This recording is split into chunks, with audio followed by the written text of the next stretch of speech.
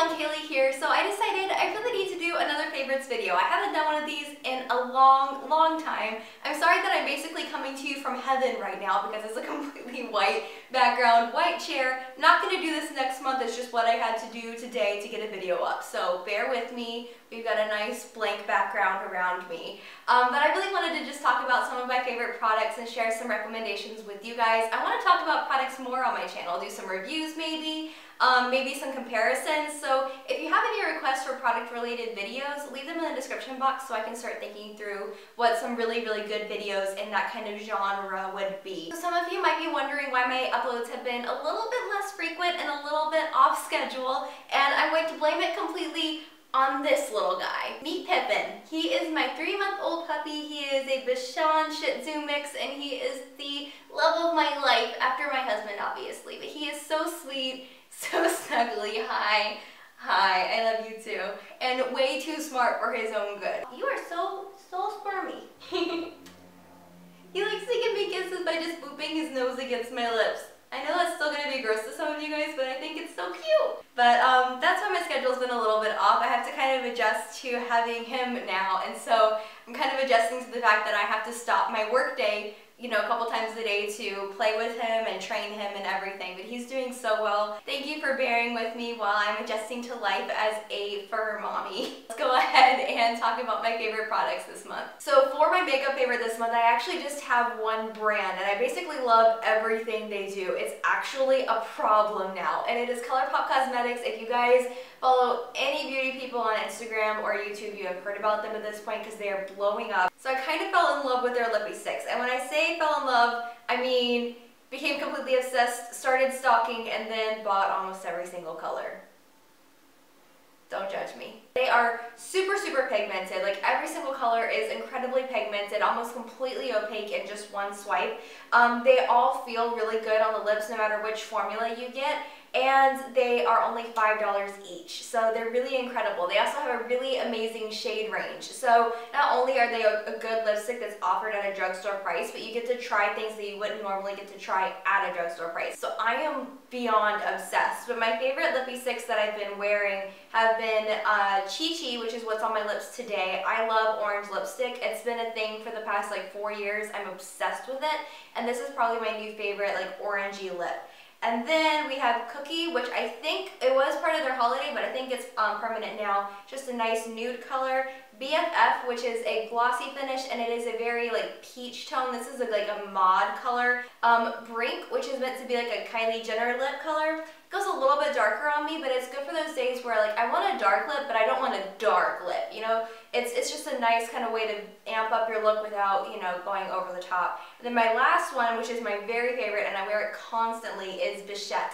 This is like a really dark, deep red. It looks almost vampy on my lips, although on some of you it might look a little bit more red. It's got a beautiful velvety matte finish. It wears fairly well, and I almost always, when I'm just putting on my makeup and I want to wear a lip, I keep reaching for this one. It is probably my most worn lipstick of the last couple of months. All that gushing to say, I am literally in love with ColourPop, and they did not pay me to say any of this. They sent me a couple of things, but only after I bought like four different orders from them. So I am legitimately obsessed. So that is my only makeup favorite for the month is ColourPop Cosmetics. Everything on their site for now is $5, which is amazing. You should go check it out.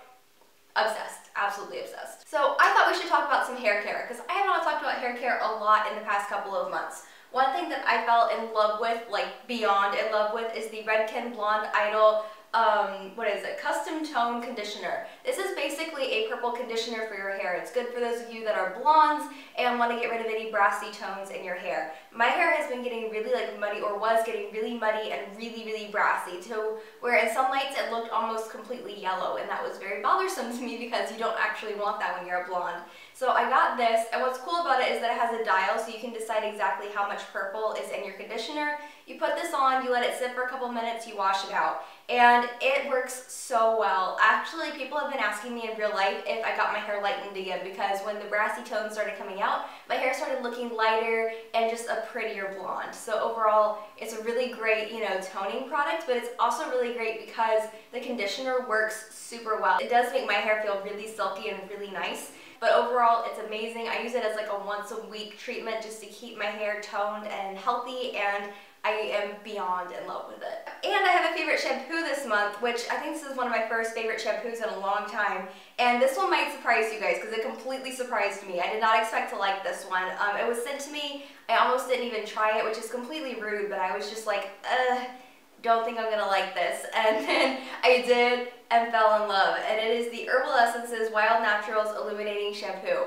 It's so good, guys. Like, I, I'm absolutely obsessed with it because my only criteria for shampoo, like literally only criteria, is that I want it to get my hair clean and I want it to not overly dry my hair, not leave any buildup, and not weigh my hair down. If it's, you know, if it doesn't do any of those things, I'm happy. And this one kind of fits all of that. It gets my hair clean. My scalp feels really great after I use it. Um, if you guys have followed my channel for a while, you know I have a really like sensitive scalp, but this one doesn't bother it at all, which is awesome.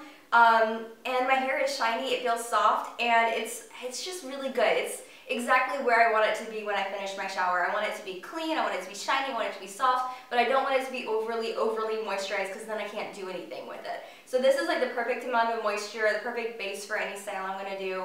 I, I really am in love with it. Sticking kind of on the shampoo train, I have been obsessed with these two dry shampoos this month. Um, the Style Sexy Hair H2NO Dry shampoo is one of my very favorites. It has just the right amount of texture for me for when I want that volume on the second day because my hair is naturally so flat. This one really helps to kind of amp up the volume without being sticky or too much texture. I think their original dry shampoo was way too much texture for me. Texture.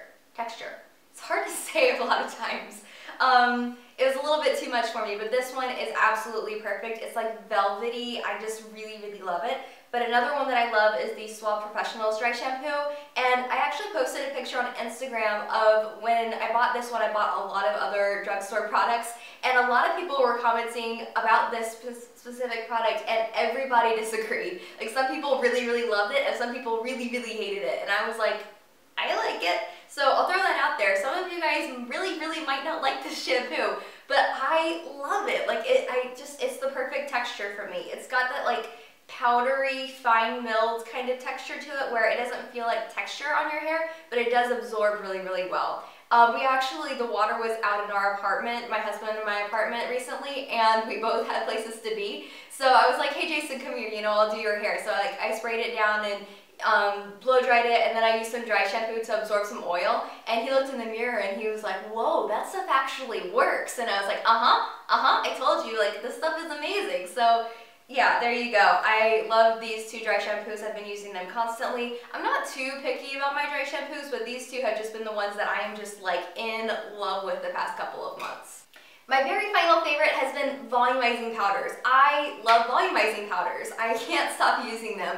Primarily I use them on my braids to pull them apart and help them look a little bit more tousled, a little bit more voluminous. And I think that kind of gives the braids just a little bit more of an editorial, almost elegant look to them rather than being so picture perfect. And that's just my personal opinion on the matter, but I've been loving these for that. So I basically just do my braids sprinkle a little bit of this on, and then I pull my braids apart and kind of destroy them as much as I want to until they look the way that I want them to. But you could also use these on your roots to get a little bit of extra volume. Just sprinkle a little bit on like a dry shampoo massage it in. And the cool thing about that is that once you use these on your hair, you can, you know, sprinkle it in, massage it. If throughout the day you notice your hair is getting a little bit more flat, you can just kind of zhuzh it up a little bit and it brings the volume back in.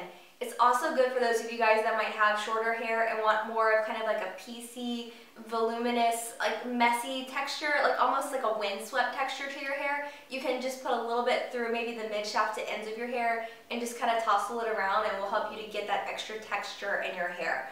So overall, I mean, they're very versatile. I love them. These are all, except for the big sexy hair one, made by the same parent company. Um, and the parent company is Schwarzkopf. They know what they're doing as far as volumizing powders go. This one, the Dust It powder by Osis, um, is basically the hairstylist bread and butter when it comes to volumizing powders. Every hairstylist uses it and loves it. Um, but that one's about $30, so I recommend trying one of their drugstore ones. They have some in the Got2b line and some in the new Stylist Ultime line. This one is my personal favorite and I think it's the most similar to the Dust It powder. Um, it smells amazing and it has this like amazing velvety finish so that it gives you that texture without being sticky. Um, because I don't really like for my hair to ever be sticky because that kind of freaks me out a little bit with hair this long. Sticky hair is kind of like the enemy. So I really like this one the most and it's the one that I recommend the most out of all of these. But if you want to splurge a little bit, the Osis Dust It Powder is amazing and well loved by hairstylists. So that's it for this month's favorites video. I hope you guys enjoyed this. I wanted to say a big thank you to you guys because I recently passed, passed the 600,000 subscriber mark and that just, it means the world to me and it was such just a cool moment to look back over everything that we've been able to accomplish over the last couple of years, all the things that have happened in my life. I went from being a girl that just you know, loved hair and makeup. Like I didn't even really know how to do my hair and makeup for a lot of my life, but once I figured out how to do it, I fell in love with it. And all I wanted to do was show other girls the stuff that I was in love with.